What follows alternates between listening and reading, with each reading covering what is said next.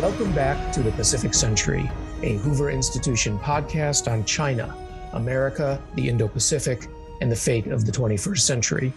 I'm your host, Misha Auslin, and today I am I'm very happy to be joined by two real experts in the field of Chinese espionage and uh, the effects on uh, the U.S. and and U.S. Uh, economy and technology.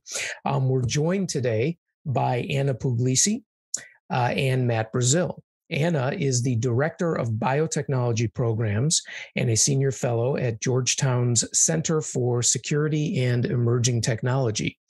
Previously, Anna served as the National Counterintelligence Officer for East Asia. Uh, she played a prominent role in drafting the U.S. National Counterintelligence Strategy, uh, and she developed multidisciplinary efforts to understand global technology development and their impact on U.S. competitiveness and national security. Matt Brazil is a senior analyst with Blue Path Labs, a fellow at the Jamestown Foundation, and a former U.S. Army officer and diplomat. He's the co author of a seminal book, Chinese Communist Espionage and Intelligence Primer, uh, which was published by Naval Institute Press, and is currently working on a new narrative history of Chinese intelligence. So, Anna and Matt, welcome to the Pacific Century. Thank you very much. Thank you. It's a pleasure being here. Uh, great to have you both, and and again, this is an area that is starting to get a lot of attention. Uh, goes in in ups and downs, and I think Americans, in many ways, are still trying to get their heads around the idea of Chinese espionage. It's it's a little easier, I think, both in terms of tradition and the starkness of the Cold War to have thought about uh, Russian espionage. Um, but for the decades in which we were thinking about partnering with China and, and trying to be a partner with China and bringing it into the world system, we really didn't focus, despite evidence to the contrary, we really didn't focus on uh, Chinese espionage. Um, perhaps the latest revelation uh, is a new report that just came out uh, from an outfit called Strider Labs, uh, which looked specifically at the role of China and, and the Chinese intelligence and security services in trying to, uh, in essence, suborn U.S. scientists, uh, those uh, who were born here, as well as those of, of Chinese descent who were working here at Los Alamos and some of the other national labs. This, of course, follows on uh, other um, uh, revelations of, of espionage and, and, and then questions that get into gray zones, things like China's Thousand Talents program. So, um, to start off our conversation, Matt, let me turn to you. I know this is something you you focus on directly. Uh, first, can you talk to us a little bit about what this Strider report was, and then we can open it up to look more broadly uh, at the question of Chinese espionage, and then and then uh, move over to Anna. Sure. Well, one of the things that confuses a lot of observers about Chinese espionage is um, its varied nature. It's not just going after classified information. Um, it's not even just about stealing big databases to understand uh, all the people who are in the US government and so on, as we saw with the OPM hack. Um, there's a big focus on technology acquisition. And the way that the technology acquisition is pursued is very different than the, um, the old KGB model of setting up companies to acquire technology and pretend like they're going to take it somewhere else besides uh, Russia and, uh, or China. Uh, it involves a lot of people to people exchanges. It involves uh, this uh, amazingly effective Thousand Talents program. Strider report talks about. And it involves um, getting people in China to go out and uh, and bring back technology as well as encourage uh, people who are uh, not connected with the intelligence community in China, who are uh, ordinary employees uh, who out, outside of China in Western Japanese companies, to um, stimulate their entrepreneurial instincts and bring technology back to China for their own benefit and for the benefit of the country. So is that is that illegal? By the way, I mean we, you know, I hate to say it, we did the same thing against the British with the uh, textile industry back in the the 1780s, and um, that's that's a, a, a tradition. So why should we be worried about it? What what what are the Chinese doing that's wrong?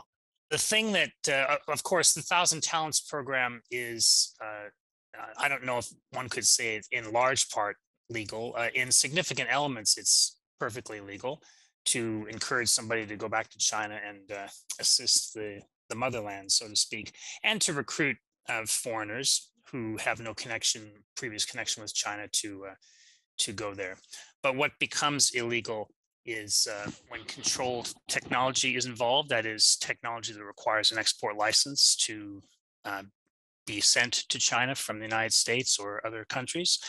And of course, if there's a contractual um, uh, obligation to not share technology that has been part of one's research. And so uh, the the clandestine part, uh, the signpost for for um, illegal activity is usually clandestinity.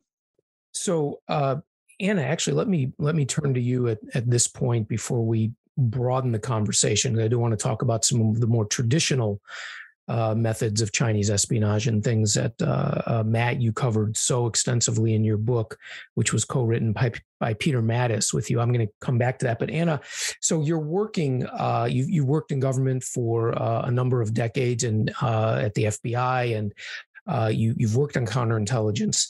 Um, how serious, based on what you heard Matt talk about, obviously what you know, how serious is what the Chinese are doing? in terms of US competitiveness, in terms of trade secrets, what we would call intellectual property broadly, uh, and therefore the US's position, traditional position of being the world's leading tech power. Are, are, should we worry about it, or is this just what happens? Right. I think I'm going to pull on that thread of um, like, how is this different? Right. Um, it's different in a number of ways uh, because I think it's the scale and scope of what we're seeing happening. Um, and it's the kinds of places that we're seeing targeted as well. Um, I think you know you mentioned the Cold War, and, and that was a very different um, you know focus. Uh, you know, folks have heard me talk about okay, you know, our system is not set up to counter. Uh, a nation state or others that are targeting earlier in the development cycle because um, that kind of activity really undermines um, scientific norms right? Our system's set up to fight, you know, in, the in the past, like during the Cold War, we're looking at intelligence officers, we're looking at um, military end use, and we're looking at things that are narrowly defined as illegal. Um, which, if we look at our economic espionage statutes, they are pretty narrowly defined.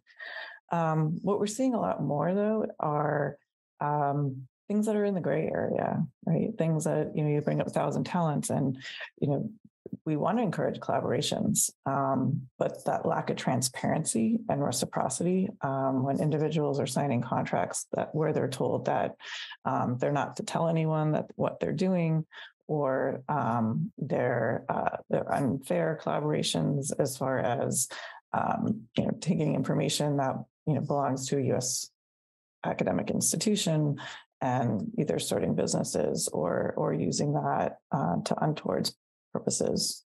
Um, and that's that's kind of really the, the, the difference in that. And so when you you look at that, um, especially as China has become more capable, it's the the question of you know working with their own ideas and working with ours. I know that the um, uh, the question of intellectual property. It's an easier, maybe in some ways, easier one for for people to get their heads around. And the the Commission on Intellectual Property Theft, which was a government commission, um, uh, estimated a few years ago that the U.S. loses between something like 250 and i know the upper end was 600 billion dollars a year in intellectual property theft and this is all across the um, uh, the spectrum but a, a, great deal of it uh, though they didn't specify a great deal of it goes uh, to China. In in your work, uh, Anna, I mean, are you able, or or we more broadly as a society, able specifically to identify the harm that's done, right? So there's sort of a moral harm, right? The things that you were talking about. We don't like the lack of transparency. They may break contracts. They don't, you know, they're not open, so on and so forth. Um, but what's the actual real harm done? So the IP Commission says $600 billion. That's an economic number uh, are have we lost the lead in certain technologies because of this? Are we at danger of not being able to uh, to maintain a lead uh, in other technologies where where we have invested? What what is it that we should really be focusing on? Yeah, um, having being able to quantify that loss right? Because we get a lot of questions how big or how bad is this? And um, you know can you put a number on it? Can you can you quantify it? Um, one of the challenges with doing that is that um, a lot of times it, it, are things that before they're commercialized uh, before they're actually monetized. So we're, we're looking early in the development cycle so we're looking at basic research, we're looking at ideas. Um, although there are cases, um, and I think um, the solar panels, that's one example of, you know, companies going out of business or people, you know, 500 people losing their jobs. Um, so these have really real world um, implications. And it's also, um, it's the delta. It's not only, okay, that idea today, but it's what industries and what businesses are not going to happen right? Because the ideas and the work that we've invested in are now no longer benefiting U.S. universities or U.S. companies, um, but are are are being transferred in um, unfair ways. And um, the uh, in essence, what we see in a lot of cases, and certainly in the public case, is that you know to to make it a more political statement, the U.S. taxpayer is subsidizing uh, China, the, the government, and, and even companies. I mean, first you have a civil military fusion in China, in which all technologies that are are brought in, with you know, civil civilian technologies, are designed to uh, um, ultimately be of use in the military.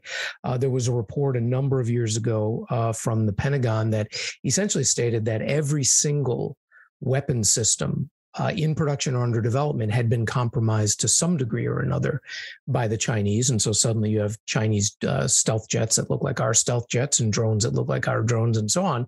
So we're actually you know subsidizing the growth of the Chinese military. But but I I'm wondering, Anna, if you can uh, tell us a little bit more about what are the key areas that the Chinese are focusing on, and therefore what we need to be worried about and then i want to i want to go back to matt to try to broaden this a little bit about more general uh, counterintelligence and you know sort of round robins with you guys. But but first what what are the areas? You mentioned solar and we know the us solar um, industry uh, was was largely overtaken by chinese and um, by chinese companies. So what are the areas? Is it quantum? Is it ai is it machine learning? Uh, voice facial recognition? Where are they benefiting the most from this type of uh, espionage that we're talking about? Sure. Um, so, yeah, I'd like to make back up just a little bit because um, you make some really great points about the U.S. taxpayer and you know, are we funding? Um, what are we funding for the future? Because that's really, really what's at stake. Um, and the whole idea of um, you can talk a little bit about competition and, and what what kind of you know investments do we need to make today that are going to have those impacts 5 10 15 years down the road that drive um, competition and drive industries of the future um, but what it really comes back to is we're dealing with an entirely different system and and that's really what the challenge is because you know our academics our businesses enter into agreements um, with assumptions about how those systems are going to work how those collaborations or those business deals are going to work. Um, and you know what we see uh, China doing is acting in a very very different way. Right. So essentially, uh, setting goals, setting strategies, which you know you, you have to commend them. They they have uh, you know really do take a long view and put political capital and investment over time, which for a lot of these industries really make a big difference. Um, but what that does then is it really kind of tilts the playing field, right? So our academics and our our businesses are individuals up against a nation state as opposed to um, competing one on one with either a, another uh, academic or company.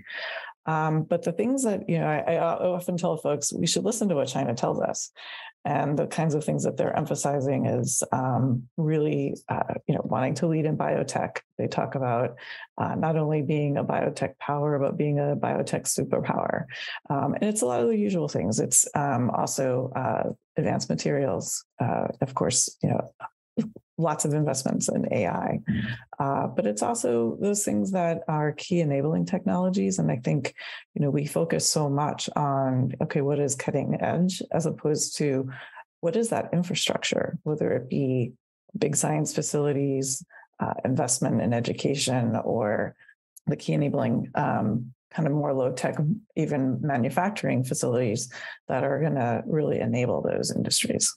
So let me, um, uh, I mean, we could keep going on about. There's a lot of really interesting questions, but I I, I want to see if we can broaden it a little bit and bring in the expertise of of both of you uh, on the the broader question of of uh, espionage. So Matt, your 2019 book, uh, which I, I referenced, Chinese Communist Espionage.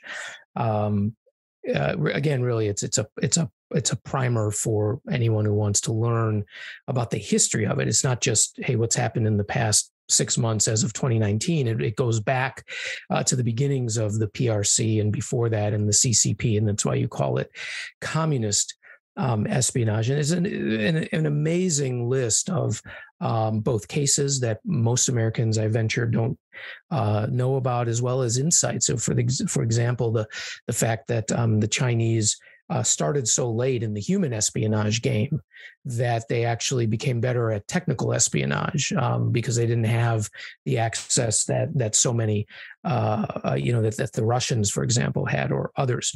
So um, uh, let me ask you a very broad question: How successful are the Chinese overall, not just in this tech sphere, at espionage in the United States? Um, where where are they focused? How good are they at penetrating?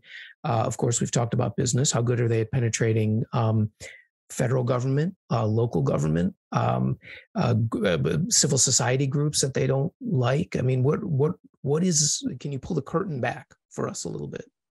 Sure. I, I would start by referencing um, something that I observed in 1989 and 1990 when I was working in the Office of Export Enforcement at Commerce, my uh, late boss, uh, Robert W. Rice, led a led a delegation to Hungary, Poland, and Czechoslovakia, and he interviewed scientists who had been working on projects that required control technology that was diverted, um, stolen, or however, uh, to the behind the Iron Curtain. And he discovered that they all had the same answer, and that was that your export controls are a pain in the rear. They caused us to have to pay a lot more for everything we needed. They caused us to uh, have to wait a long time. And when it came to spare parts, uh, it was sometimes impossible to get them. Um, and so that was a bit of a surprise because of all the criticism about uh, export controls. And it showed that until the archives are open in Beijing, so Beijing, if you're listening, open up those archives. They are. They are. Don't worry. open up those archives. Um, we won't really know the full extent of um, of their uh, success until their archives are opened. Um, but the challenge, um, as Anna just talked about, of an entirely different system leading an assault, uh, a worldwide uh, espionage and influence offensive uh, on not only the United States but uh, allied countries is a, a, formidable one.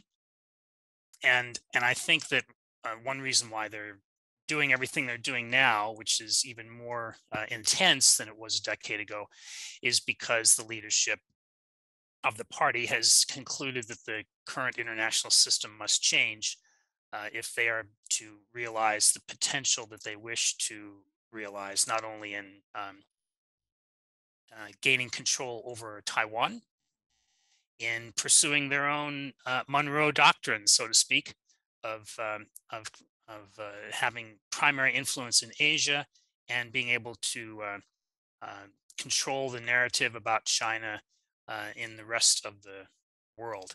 And so um, they they use they use in a better way, in a more efficient way, I think, um, although there are problems here and there.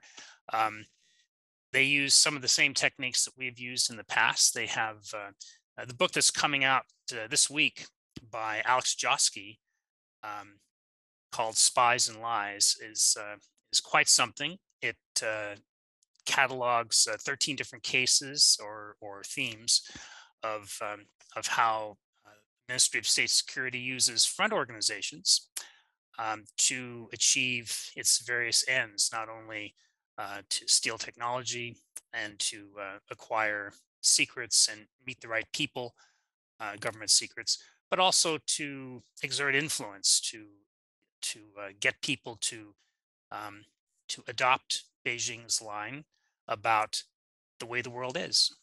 Actually, could you could you take a second to um, since you've uh, worked on this so much uh, from the Chinese angle and the Chinese perspective, and of course you are a, a Mandarin speaker and uh, have had years of, of looking at the documents.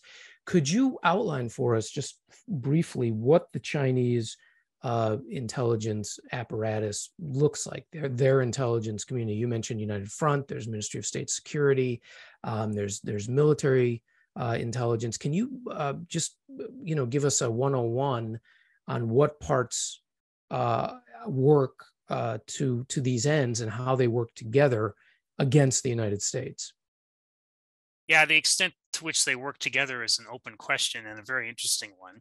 Um, it, it's uncertain whether these different agencies have defined turf or whether they are competing with each other because in the past um, there have been uh, uh, observations of the same target being hit by more than one agency. But to to give a quick overview, the Ministry of State Security is uh, under the State Council, although it really is uh, more like a party organization. Um, and it's a large ministry. It has uh, probably 100,000 people wow. working for it. Um, and it's the, the, primary civilian intelligence agency.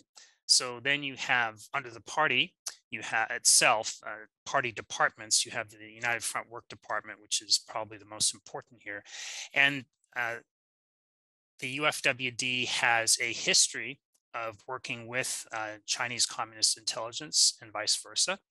That goes all the way back to the revolution, which I won't bore you with all that history. Um, but then on the military side, after the 2015 reorganization, of, of the military and uh, also more quietly of the intelligence community. You have uh, the Strategic Support Force, which is like NSA, um, to make a rough comparison. And you have the uh, Intelligence Bureau of the General Staff, which uh, was previously known as 2PLA, the second department of the PLA. And exactly what each of them are doing, of course, is um, um, picture is not complete, but it seems logical that the military would be going after military secrets and the MSS would be going after some of those too, um, because they have an extensive uh, effort and and also uh, uh, to to run influence operations with the United Front Work Department and to uh, to steal technology that's useful to Chinese industry. Uh, that gets into a, an entirely different area that Anna's very familiar with because of the book that she co-wrote. Um, and she should probably describe that. Oh, that was a great tee up. oh, this I, I, love when I love when one guest tees it up for another guest. So Anna, no, thank you. Take it away, and then and then I want to ask you um, more specifically about, from your position having been in the U.S. government, about Chinese success uh, you know the the counterintelligence angle that you took, their success in penetrating. But but please pick up from from Matt's cue. Way to go, Matt. Sure. Yeah. So actually, that was a that was a great handoff um, because uh, our first book we actually called Chinese industrial industrial espionage, but we really wanted to call it Beyond um, espionage because I think that's really important uh, to get a handle on. That you know how we see China targeting our technology is is very different um, they use, and that's not not all of it. There there is a you know role for the intelligence communities, but but by and large, what I spent a lot of time focusing on is what we call our non-traditional collectors, and so it's the experts that are working on these programs um, that are targeting the technology, and that makes it really hard, right? Because you're not looking um, at intelligence officers per se; these are uh, you know, experts that have great bona fides. Um, easier to, for them to talk to other experts. Um, and you see these tech acquisition programs hard baked into the S&T development programs. And that I think is something that also really distinguishes what China does. When we look at their medium to long-term plan for S&T development, we look at their strategic emerging industries programs. Um, they talk about exploiting collaborations. They talk about using um, universities to fill strategic gaps. Um, and some of the cases uh, that um, that Matt is very com- familiar with, as well as um, you know that we've explored, even re- related to agriculture. I mean, you have the Ministry of Agriculture running tech acquisition programs, so it's a very, very different way in a lot of ways. That um, you know, it's, it's it's a much more holistic approach to how they're targeting um, technology. So, if we zoom out a little bit and your work on the, the National Counterintelligence Strategy as the National Counterintelligence Officer, mm-hmm. um, how, how, well, first, is that was that more government focused uh, to the degree I understand there's a lot you can't talk about, but to the degree you can talk about it, is that more government focused, meaning counterintelligence, CI, and uh, to protect government secrets, government workers, government agencies, or was it more uh, you know, was it broader on American society? Uh, and then secondly, um, to the extent that it's public, what were your assessments? How good were they, or how pervasive were they? What what is it that Americans need to know about this penetration of society? Um, well, I'm going to take a step back and talk a little bit about um, one of the things that we really tried to, or that I focused on, um, is telling these stories, right, and and really highlighting how different these systems are, and that's that's really key. Um, and uh, you know, Matt talked a lot about the influence of the United Front Work Department, um, and uh, it it comes across across both academia, we're looking at state and local.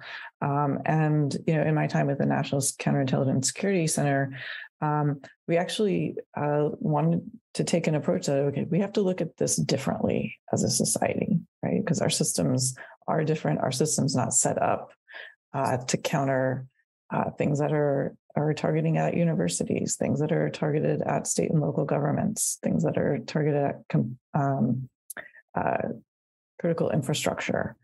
Uh, and really kind of raising the awareness of um, the American public uh, that you know this is the approach and a very different approach that uh, the Chinese government and entities take towards targeting technology, and also, you know, you know, in the past we're we're involved in a strategic rivalry.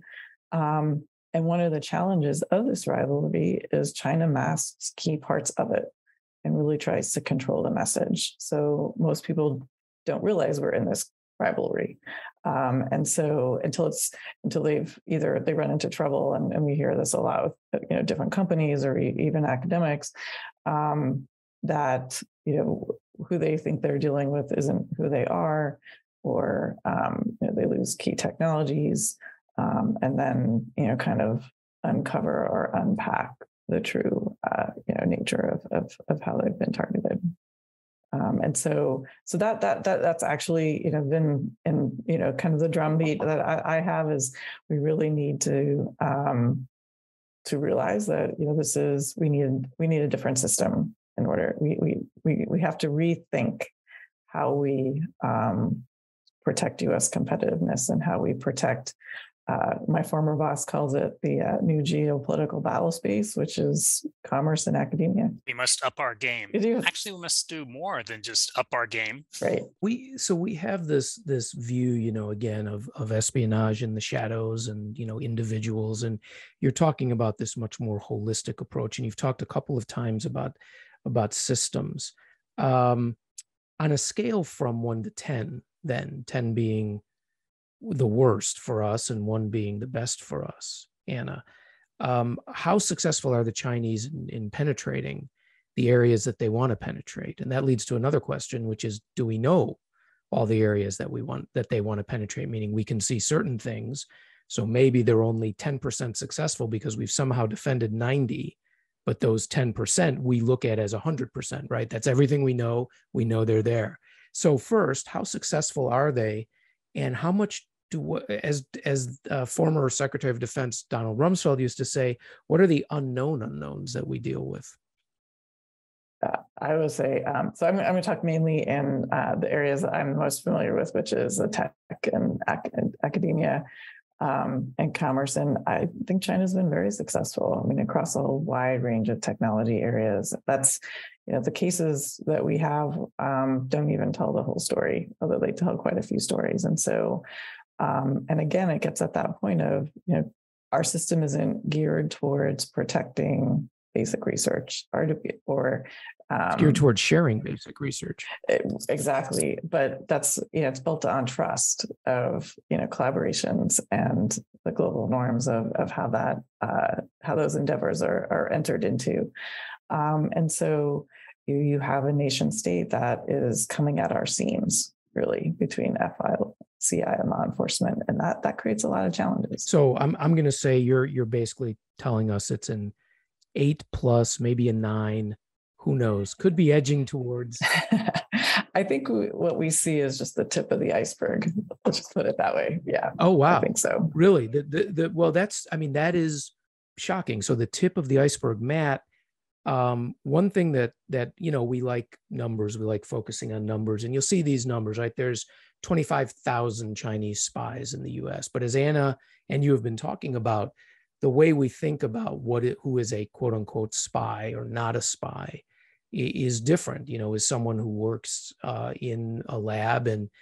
you know is part of thousand talents and maybe even disclose that uh, but is bringing over sensitive information is are they a spy how many chinese spies to be very crude about it are there in the us but then talk to us more about how we understand this from a from a human level well i, I would point to the uh, the case of charles lieber yes formerly of the chemistry department at harvard university um, Dr. Lieber, uh, something that wasn't discussed very much in the press was that Dr. Lieber was working on nanowire technology, among other things, which can be used to connect a computer to your body, uh, among other things. Uh, now you got a whole different set of things you got me worried about, but let's let's just stick with the espionage for now. Yeah, well, he the the the thing I wanted to point out about that is that Thousand Talents um, was used to fund a very lucrative effort uh, by the Wuhan University of Technology to bring Dr. Lieber over uh, and, in essence, hand over a bunch of military related technology, the cutting edge stuff. And he knew that. He knew what he was giving to them. It wasn't like he didn't understand it. It's, it seems that he knew fairly well what he was doing although he was not a spy and he made uh, lots of mistakes, he was not trained uh, at all. And, and that's an, another hallmark of the Chinese system. So a lot of their officers are well trained. They're they're um, fluent in foreign languages. Uh, they they know what they're supposed to do. Uh, and some of their officers, it seems, are less well trained. The case of Christine Fang, for example, Fang Fang, in the San Francisco Bay Area, was being handled uh, doing influence work by an MSS officer out of the consulate in San Francisco, and they met in public. Why on earth would you do that if you're an MSS officer? Meet a source in public where the FBI can take pictures. And to remind people, um, Fang Fang was accused of having a personal relationship with Representative Eric Swalwell, right, who sits on the Intelligence Committee mm-hmm. in Congress. So. Yeah, I, I, understand that there was never um, of course, there's there's the sexy picture of Swalwell and and Christine Fang, um, uh, but it I haven't heard any actual evidence that there was a relationship there. There were there was apparently uh, a couple relationships in another part of the country with um, up and coming politicians that she had. That she had. Yeah. Okay. Okay. It's good to know. Good to clarify. Yeah. So, but how many how many spies are there? Um, again, I think uh, Beijing has to open up its archives before we'll really know the answer to that. But the important part for what do we do next is to recognize that we are outgunned right now in the counterintelligence sphere. Uh, and how many FBI agents who are responsible for the face to face work of counter espionage speak the language? How many of them know anything about the culture and how you would uh, cultivate or not cultivate a confidential source, whether they're uh, Chinese American or whether they are uh, an immigrant or whatever. Um, we just don't have enough resources there. And if you look at our military and our foreign service, they train people before they send them off to do China related tasks. They t- send them to language school. They send them to uh, get a one year uh, master's in East Asian studies. But our law enforcement doesn't do that, and our corporations don't do that either. Uh, people who do corporate security work, it's rare for them to have any training to understand how Chinese espionage works and understand Chinese society and the language. So this is where we really need to up our game. So Anna, can you can you pick up on that? Having uh, sat on the inside for a long time, and again worked on a, a counterintelligence strategy, and and I understand you know you've you focused most on academia and tech, but uh, obviously you have a have a broad view. Um, where are we really in danger, or, or is it across the board? Is it you know in in um, the the lack of of rigorous counterintelligence within government? Is it is it the, the leading tech companies? Is it our research labs? Uh, meaning, if uh, Matt's saying we we have to up our game, there's a lot we have to do. What is it you would say we specifically need to do, and how do we do it? Yes. Uh, so yeah, I would say we definitely. I agree with Matt. We have to up our game, um, and I think it's thinking at it of it strategically, um, and what the end game is, right? And what, what what do we really want to protect? What do we want to um, what do we want that to look like? Because we don't want to we don't want to break the system.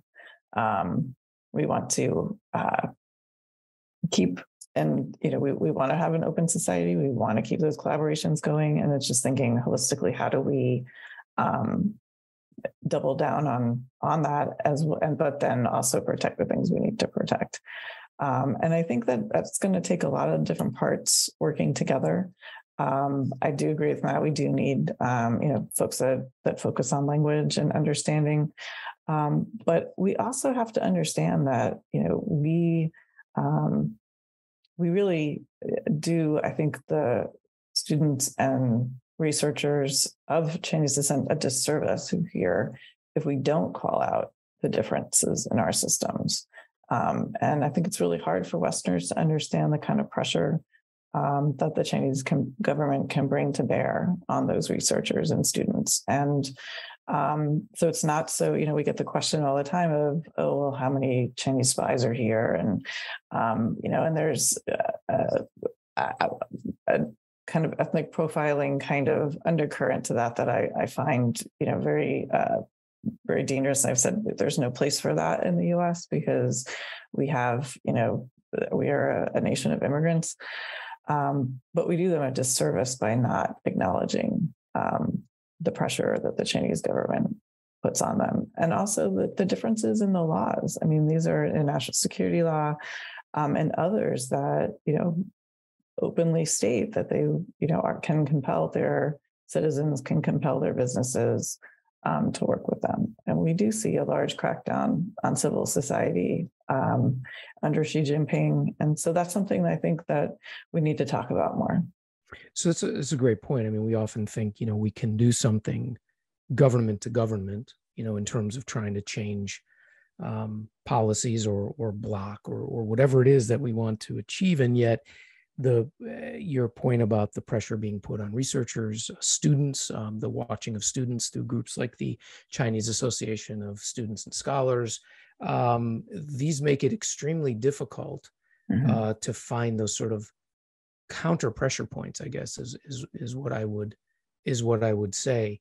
Um, so in you know to to sort of move us towards wrapping up, then what what encourages you both about what we're doing now uh, in in the face of Chinese pervasive espionage, or is there nothing that encourages you? Are we getting it right? And and I think it's important to have the context of understanding that our overall government goal was to work with China to create a strategic partner to bring it into these these research and cultural and political and economic systems because we made a, a bet that that was the best way to help China develop peacefully and, and prosperously and become a, a beneficial part of the, the, world system. Now we're having a reassessment of that. So we we've started late.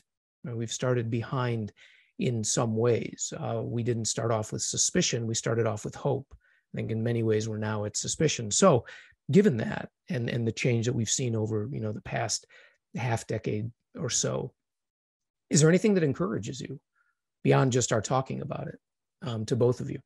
I'd start off by saying, first of all, that the Communist Party has always correctly viewed its society as being full of enemies. And so this is a good thing for us because we can use that uh, in our own system where we are, as Anna points out, a country of immigrants, where we have a system that recognizes civil liberties, uh, where we attempt, anyway, to avoid allowing racism and xenophobia to uh, steer our policy. Um, we are a, a an ideal system to tackle that problem. And I would point out that, by the way, we're Americans. We solve problems. We recognize problems. We solve them and we maintain a positive attitude if only we can keep our country together that's another small problem. Um, but I, I see a lot of hope in the future because i believe that there is a, a dawning recognition of the extent of this problem. And once we get our act together and we up our game i think we will do well Anna, do you do you agree with that, or or what would you add? I do. I am encouraged. I, am encouraged because, um, as you you know, you early you stated, you know, there was that hope, um, but I think we have to deal with the China we have, not the China we wanted.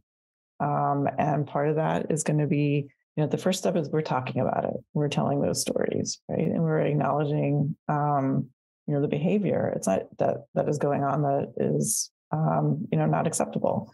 And um, and we're also, you know, we have to recognize there are things that we can do to fix ourselves. And so I think chips and science is a first first step hmm. um, in that, you know, chips we need to yeah. chips and science acts that we need to really um, remember that technology is a national asset and you know it is underpins our foreign policy and the way you know our freedom of, of action.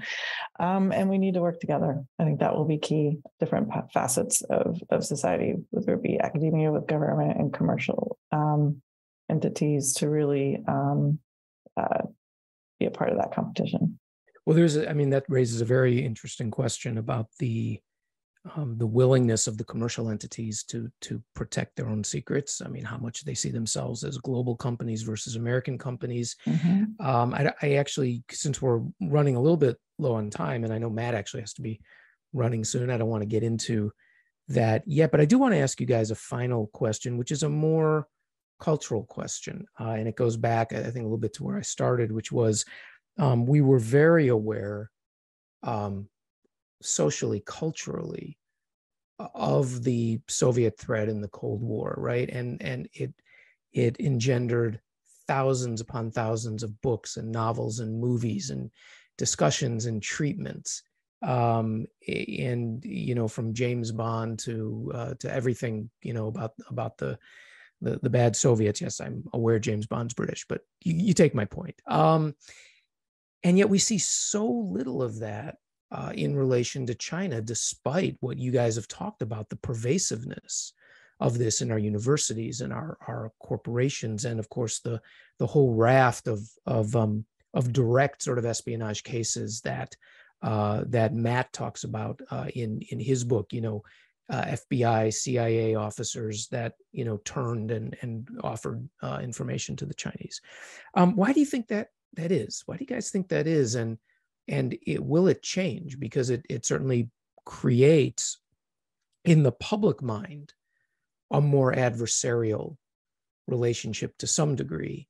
And yet if you listen to our government leaders we're in uh, at, at best competitive and at worst an adversarial relationship. So why is it that you think we just haven't sort of made this part of the way we view the world?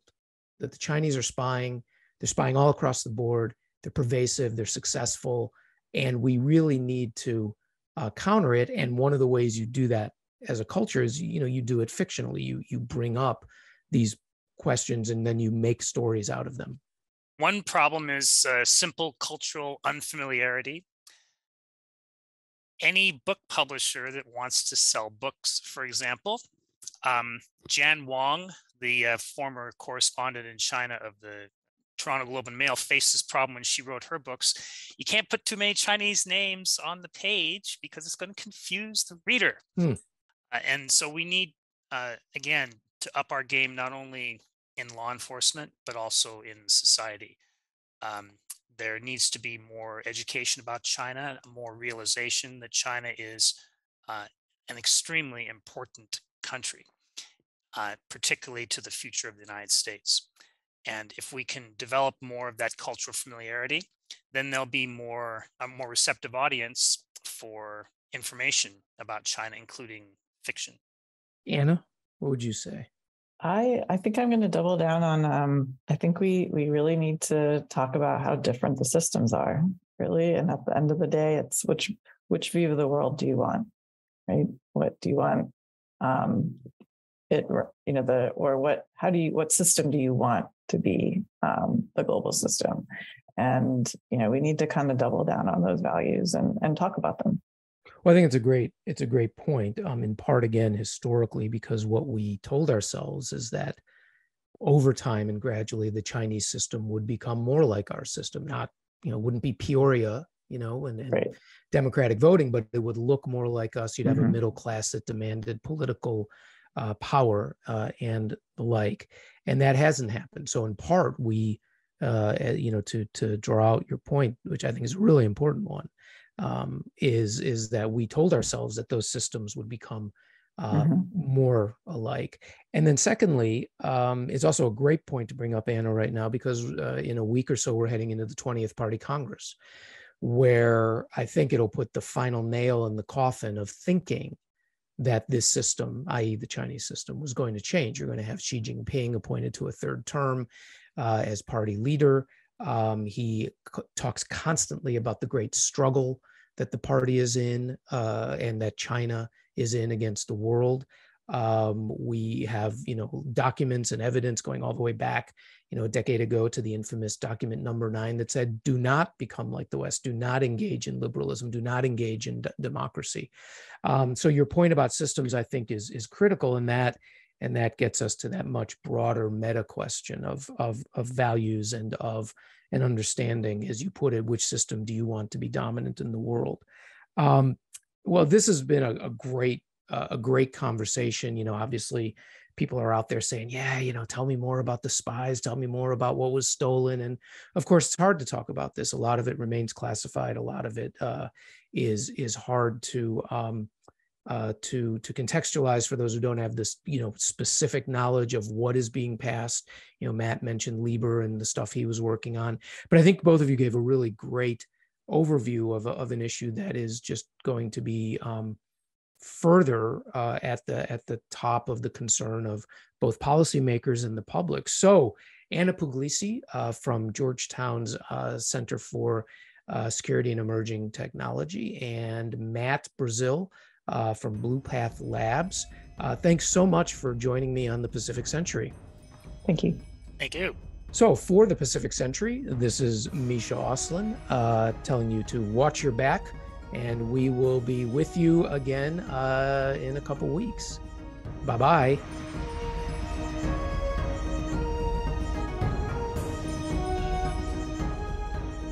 This podcast is a production of the Hoover Institution, where we advance ideas that define a free society and improve the human condition.